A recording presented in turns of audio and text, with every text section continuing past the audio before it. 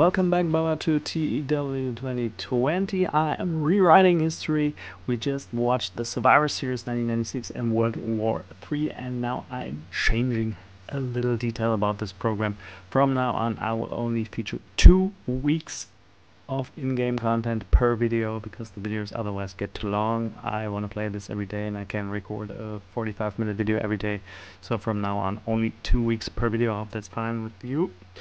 And yeah, things are getting really interesting. The WWE signed Rey Mysterio in 1996. Now we are really getting uh, into talk about changing the history, the course of history. WWE has been, WWF, pardon, has been signing a lot of people. So then let's go. We are in December 1996, finishing the year uh, into the first two weeks in this video, and then from now on, I would like to we do videos every day. Last night's Monday Nitro. So we see 85 rating, 4,200 people in attendance in the Les Murakami team in Hawaii. Bob, just in Hawaii? Bobby Walker defeat Arn Anderson. Interview with Ted DiBiase. Back, backstage segments with Booker T. Then with Jimmy Hart. Then one with Gene Okerlund. Then with Scott Steiner. Then with Arn Anderson. Wow, five backstage segments in a row. Chris Benoit defeated the Booty Man. An interview with Scott Hall. The Dungeon of Doom. Kevin Sullivan, the Giant, and Hugh Morris defeated Jim Duggan and the Rock and Roll Express. Randy Savage defeated the Ultimate Dragon. Warrior defeated the Barbarian. Hollywood Hulk Hogan defeated Eddie, Eddie Guerrero. That's an interesting match I would like to see. And the Outsiders defeated the Steiner Brothers. Classic stuff here by World Championship Wrestling. The Raw broadcast took place. They got a 1.43 TV rating, over a million viewers. Uh, yeah, and I checked in the game, the WWF is still number one. I thought WCW was number one. Now it says ranked first in the world. But you see, they have about $4.7 million, while WCW has over $70 million. WWE is ranked number two in the world, probably because WWE. I keep saying WWE, you get used to that. Uh, because WWF probably still has more fans in Europe and all over the world, but I think in the United States WCW is dominating and yeah, the bank account speaks for itself. So we continue and I'm really curious to see what Rey Mysterio can do in the World Wrestling Federation. A new feud for Scott Hall. A leak appears to indicate that we will be seeing a long-term Scott Hall versus Randy Savage feud as one of the main storylines for WCW over the coming months. It said that the information leaked after a poster was re accidentally released to the public. Monday Night Raw taping in Richmond Coliseum, 77 rating, over 11,000 people in attendance. The Undertaker left Psycho Sid laying after a brawl broke out. The New Rockers defeated the Godwins backstage segment with Rey Mysterio. He's already featured on Raw. An interview with Farouk, backstage segment with Sunny. King Kong Bundy and the Smoking Guns defeat Bob Holly and Team Slaughter. Uh, the Undertaker defeat Mark Henry and a great main event. Steve Austin and Bret Hart defeat Goldust and Psycho Sid. So we see this the MVP of the show was the Undertaker. This is Tag 1, no Tag 1. Oh, this is a tag, tag team event. So anyway, we continue. They keep presenting Mr. Hughes. Um,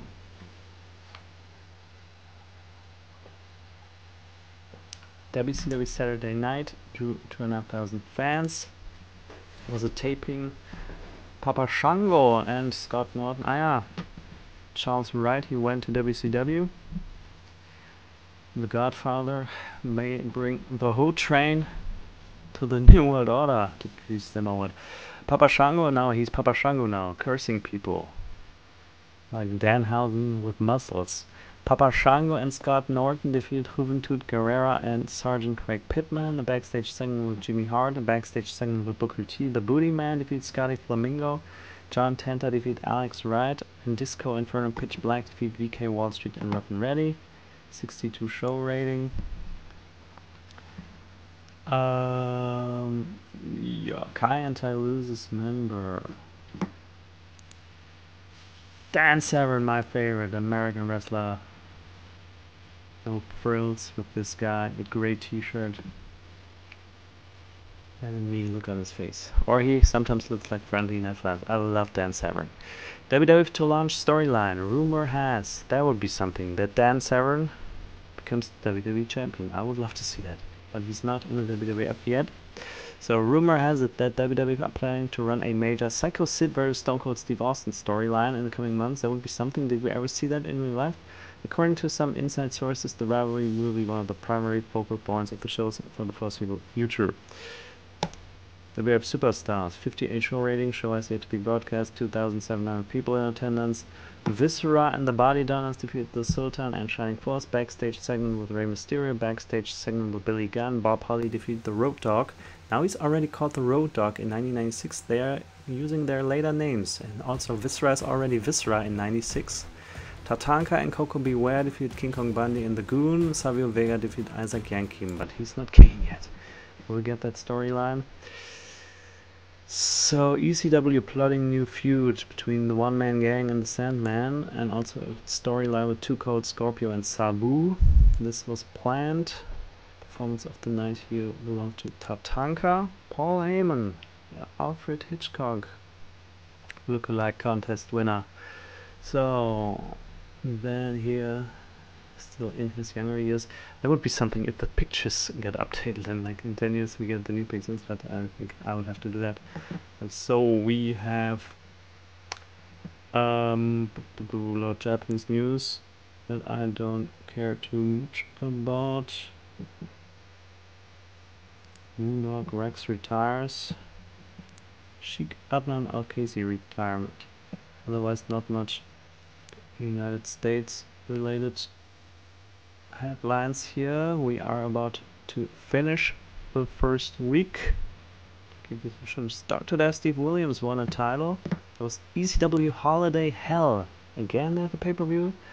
So 1,600 people, 77 show rating.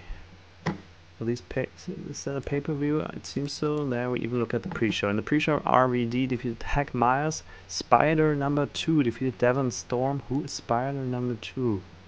Thrasher. Thrasher is that. It's Marsh Spider number one. Devon Dudley defeated Chris Chetty and the Pitbulls defeated Violent Conduct. Interesting that they used different names then. Then the main show began with two angles. First, the Sandman beat down One Man Gang after getting better of a brawl. Sabu and Two Cold Scorpio came face to face backstage, got separated. With different angles, you know. Stevie Richards defeated Supernova. There was an interview with the Eliminators. Sammy the Silk and the Headhunters defeated Mikey Whipwreck and Bad Breed in a tables match. So nice that we have some ECW style gimmick matches here. That's quite authentic. The Eliminators defeat the Gangsters in a strap match to retain the ECW World Tag Team titles. A lot of gimmick matches. This is Extreme interview with Paul Heyman, interview with Bill Alfonso, a backstage segment with Beulah McGillicuddy. One Man Gang defeat Bubba Dudley in the first blood match. Only gimmick matches. Tony Khan is in heaven he watches this program, maybe in attendance. The Sandman and Tommy Dreamer defeat Taz and Doink the Clown. There was an interview with Shane Douglas. Sabu defeated Two Cold Scorpio and Do Dr. Death Steve Williams defeated Raven and won the ECW World Heavyweight Championship. Dr. Death Steve Williams, that's another guy that got buried by that Brawl for All horse shit. Also a guy they could have done something with. He was planned to feud with Stone Cold Steve Austin and then was often Vince Russo fucked everything up. So, Steve Williams now the ECW Heavyweight Champion. WCW Saturday Night was broadcast, got a 0.2 TV rating. Barry Horowitz resigning rumor the WWF, and we finish the first week of December and we go into the second week. This is really getting more and more interesting. Who would have? No, oh, no, not a surprise. The professional wrestling world is always fascinating, especially if you go through these what-if scenarios, and especially these ones that you cannot control, and that some fancy simulator provides for you. I hope there are a lot of X factors in the calculation and simulation and the algorithms so it stays unpredictable but still realistic and reasonable. Barry Horowitz gets an extension. Good for him. Dave Brown is a nice looking man. So he works for the USWA. Monday Night Raw broadcast got a 1.39 television rating, over a million viewers. There was WCW Monday Nitro in the Marriott Convention Center Mid South, 75 show rating, 12,500 people in attendance. Randy Savage had an angle, an angry confrontation with Scott Hall. Joey Maggs defeated Arn Anderson. There was a backstage segment with Scott Steiner, the Dungeon of Doom. Meng, the Barbarian, Kevin Sullivan defeated Conan and the Nasty Boys in a tables match.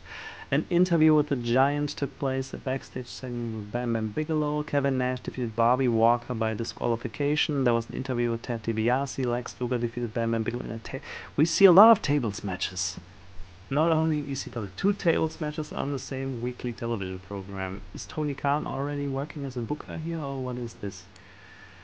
Lex Luger defeated Bam Bam Bigelow in a tables match to retain the WCW World Television title. Lex Luger is really the workhorse here. He defends his title almost every week. Backstage segment with Booker T. Eddie Guerrero defeated Ric Flair for the United States Championship. You know that Ric Flair had the title. The New World Order, Hogan and Hall defeated Sting and Jim Duggan, and the Giant defeated Warrior to retain the WCW World Heavyweight. A lot of title matches here on a weekly show and a title change. Eddie Guerrero is the new United States champion. Okay, if they say if they don't use the word retain, then it means it's a title change. Ric Flair wasn't was he injured for a few weeks, or is it just because I didn't play this game in almost a year until recently? So, Ric Flair was the star of the show. Will he get back in the world heavyweight title conversation? That's the question. ECW hardcore TV taping one aired. 0.05 TV rating. New champion, yeah, they confirmed that Eddie Guerrero is the new United States champion. The first time that Eddie Guerrero has won a title. Congratulations, Viva la Raza. Um, Kenta Kobashi. Back when Japanese wrestling was still serious. Unbelievable. So, saying that it's not right now, but they're also getting goofy or got goofy. So, WWF Monday Night Raw report, but there's still New Japan Wrestling certainly still more serious than almost everything in the United States of America, but still, I look at DDT and that stuff. And say J Japanese wrestling also got too much of the silliness over the past 10 or 20 years. So WWF Monday Night Raw report 8,000 people in attendance, 81 show rating over uh, New Haven Coliseum in New England. I think we need more different locations. I think we always have the same few ones. But anyway, that's not too much attention to that. So Bret Hart managed to leave Shawn Michaels down after a backstage brawl. Team Slaughter defeated the New Rockers, and no, this is not Sergeant Slaughter. This is Nelson Knight, Viscera, and Tatanka. That's Team Slaughter. Maybe they'll get managed by them. Three interviews in a row with Mankind, The Undertaker, Rob. Talk about some serious talent here on the microphone. Roddy Piper, The Undertaker, and Mankind, who, aka Jim the Anvil Neidhart, and Koko B. Ware defeated the Sultan and the Honky Tonk Man, the Partisans. Mark Mero, Shawn Michaels, and Hunter Hearst Helmsley defeated Farouk and the Smoking Guns, and the WWF WWF World Heavyweight Champion Stone Cold Steve Austin defeated Psycho Sid. Yeah, they were supposed to have a program. They already started with the title match on Raw. They saw that WCW had a lot of title matches on the show, so Steve Austin also had to defend the title. He was successful against Psycho Sid, and he already got hurt. Here they call him Sid Vicious. Sid Vicious has been injured. He broke a toe during a match. He apparently left the ring, but I think with a broken toe you can still go out. But pretty painful, I assume. Bad Crew number two. So we have a lot of high profile matches here to end the year before we get close to Christmas here. WCW Saturday Night taping, 57 show rating, 2,500 people. Jim Powers and Disco Inferno defeat the James Boys backstage segment with Booker T. He always has backstage segments. What is he doing backstage? Shampoo commercials. Backstage segment with Bam Bam Bigelow. The Booty Man and Heavy Duty defeat Scott Norton and High Voltage. Papa Shango defeated Rocco Rock and John Tenta defeated Alex Wright. The German jobbing. I like that. So Marc Mero staying with the WWF? Question mark. Early indications are that Mark Mero is set to stay after the company offered him a new contract. They should keep him away from Sable on television. I like to have a look at Sable, but she kind of takes all the attention away from him. But yeah, okay, speaking of that, he's in a stable with Triple H and Shawn Michaels now. We'll talk about taking away attention. Zip. Isn't that Dr. Bruce Pritchard? Uh, Dr. Tom Pritchard? to see him look like that? He's staying with the WWF. He signed a new contract probably, or they agreed to extend their working relationship. So we have a recovery for Sid Vicious. Fans may have noticed that Sid Vicious has not been at his best recently. This is because he had been walking, working through the pain of a minor injury. Last night he's reported to have been given the news that he's officially back after a few days. So we have the WWF Superstars taping, 2,500 people, 58 rating. The Body Donnas defeated the Shining Force backstage segment with James E. Cornette, backstage segment with Rey Mysterio, backstage segment with Mr. Perfect, and backstage segment with Vincent Kennedy McMahon. Virgil and Team Zero Tolerance defeated the Goon and the Devil Machines. King Kong Bundy defeated Bob Holly, and Koko B. Ware defeated the Road Dog Jesse James. Rick Steiner to resign with WCW? Question mark. Or will it go to the WWF? I ask myself. So then we see Kamal Bob or Jr. It's an our team, the AWF tag team titles. Um, so let's finish Nobukazu Hirai. So then we see White Knight for American Wrestling, no. Reviews Mitsuharu Sawa.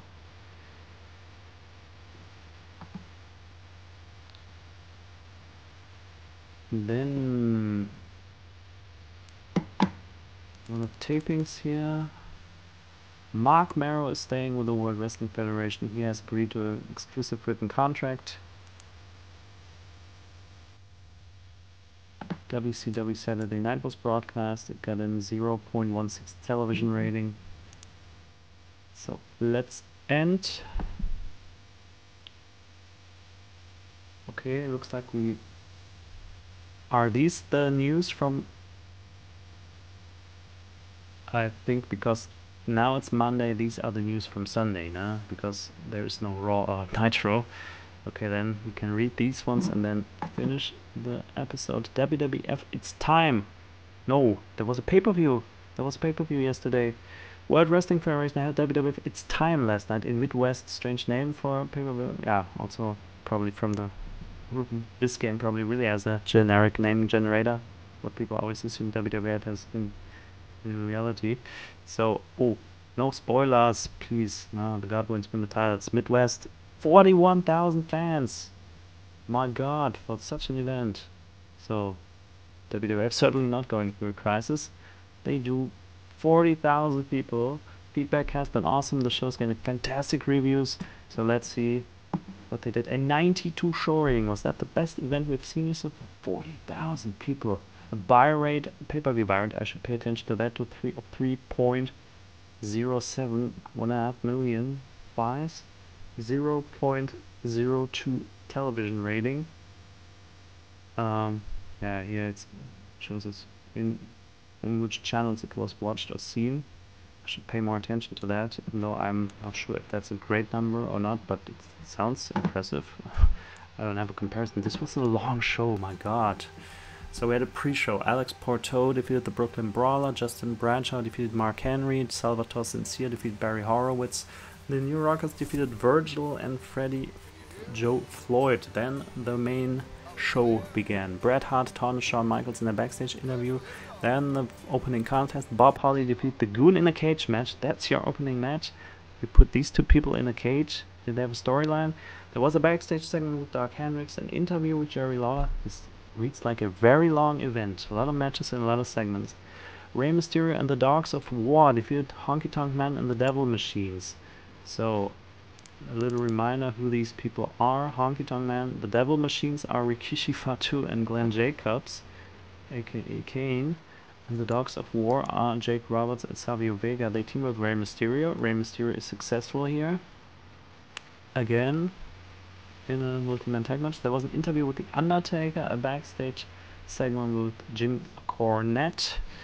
The Warlord defeated Viscera, Yokozuna defeated King Kong Bundy. So far, it doesn't sound like the greatest show on earth. Probably these matches were all quite short. Koko B. Ware defeated Jeff Jarrett. There was an interview with Roddy Piper, a backstage segment with Rey Mysterio. Tatanka defeated Jerry Lawler.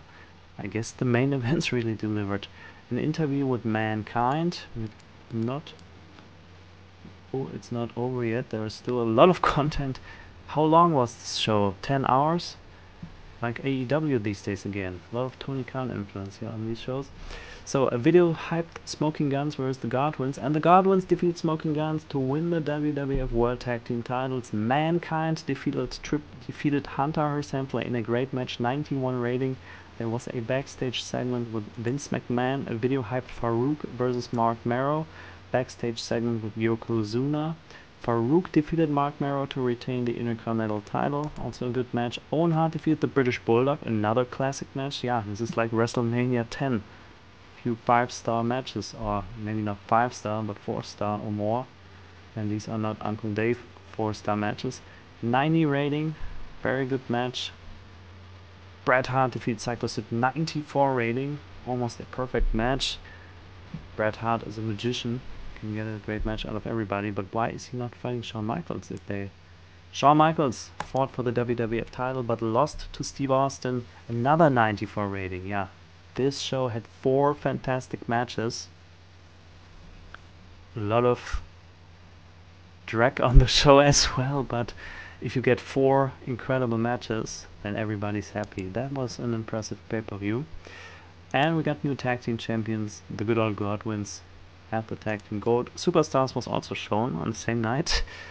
got a 0.1 TV rating. Did they show that before the show? Rick Steiner stays with WCW, and I will see you next time. It's much more digestible if I keep it to two weeks. So I'll see you then. Bye bye.